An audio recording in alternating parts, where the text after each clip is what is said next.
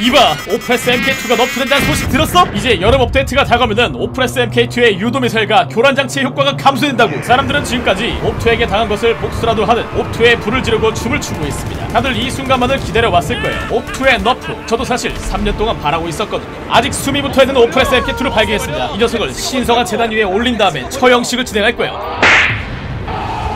축제의 열기가 더욱더 진해졌군요. 지금까지 우리들의 인생이란 오프가 어디 있는 거지? 까! 까! 사람 살려! 오프가 어디 있는 딱! 딱! 끝이다! 버프 틀어! 오프레스 엠피트를 터트려주세요! 과연! 자, 08에서 갑시다! 나이스 샷! 역시 그렇지! 이것이 바로 야생의 오프레스 엠피트. 점차부터는 하나 둘셋. 자 옵티야. 가자!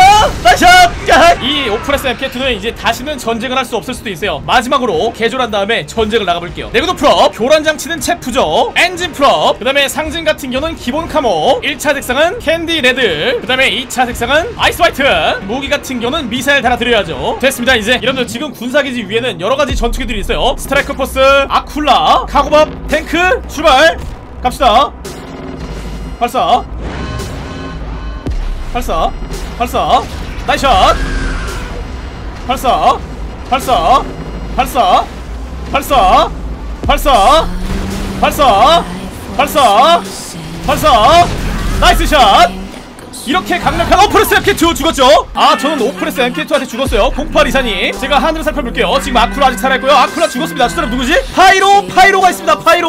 oh my god 방금 Oppressor MK2 터졌어요. 누구죠? 아 다른 Oppressor MK2한테 Oppressor MK2가 죽었습니다. 지금 이제 Pyro와 옵투 1대1 5 4 3 2 1 stop! 전투 종료! 자 Pyro 한 대와 Oppressor MK2 한 대가 생존했습니다. 다음에는 Bombushka에다가 Oppressor MK2를 태워볼게요. 이쪽으로 서 이쪽으로 주차를 하시면 되겠습니다 지금 Bombushka 화물칸에 Oppressor MK2가 하나 둘 셋 넷 네 대 정도. 자 이제 문을 닫아주세요. nice shot. 태평양 한가운데 낙하바랍니다.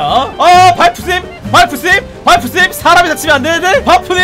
안 돼 바프님! 아 이 사람 누구지? 지금 누군가 끼어있는데? 자 이제 문이 열렸고요. Oppressor MK2를 바닥에 버려보겠습니다. 하나 둘 셋 넷.